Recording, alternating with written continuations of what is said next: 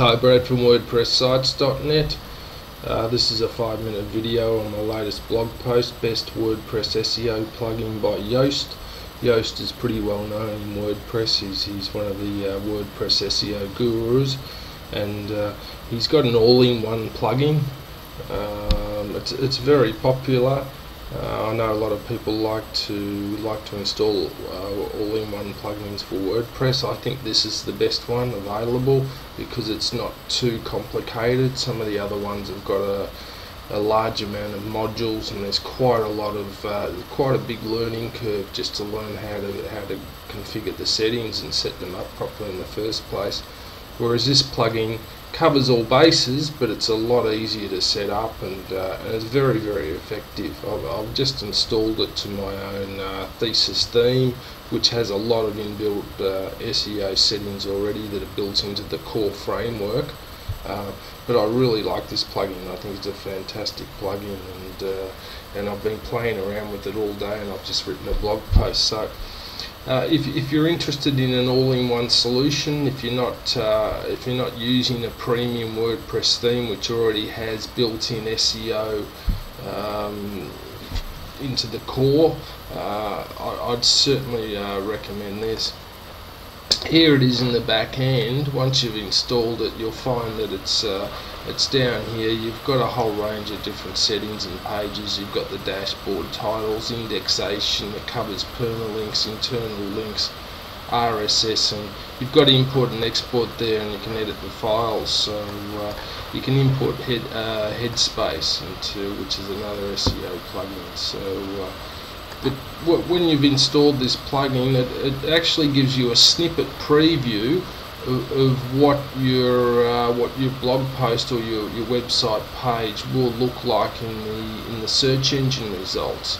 And this will be based on the SEO title that you put into this blog post and you put into this uh, this configuration here and also your meta description so your overall description of the the content of that blog post um, so based on these two inputs here this is the result that'll that'll look like and this is exactly what it's going to look like when it hits Google. So uh, this is really good to make sure you've got all the main keywords and related key phrases and long tail keywords included in your meta description and your SEO title.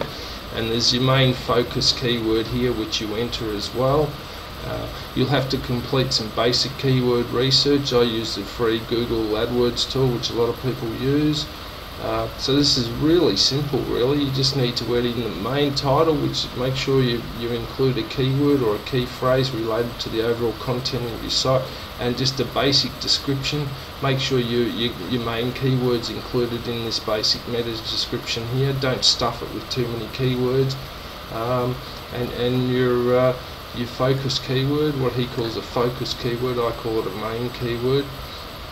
And it will tell you here you've got one in the article heading you've got the main keyword in your title in your permalink URL I've got 16 in the content which means my keyword density is good. In the meta description it's twice. So I'm fully covered here. You can click here and find related keywords. You don't really need to do this. Um, but this is what it'll, uh, it'll, it'll give you here. And there's some advanced settings as well. And these are very simple. Just leave them by default. You want it indexed and followed. And uh, you don't want any re redirects or, or, anything in here. So you don't have to touch these advanced settings at all. You just install this plugin. And you focus on the SEO title. Make sure you've got the main keywords in the SEO title and the meta description and simply by choosing your main keyword which you enter here as your focus keyword. So it's very very simple. This is the SEO configuration for each uh, for each postal page that you create and it's pretty much very similar to what the thesis theme offers by default which is built into their core framework. Except it gives you a snippet here as well which is really really good. And, and also tells you that you, you're covered here and um, in your main areas for your keywords so that's fantastic.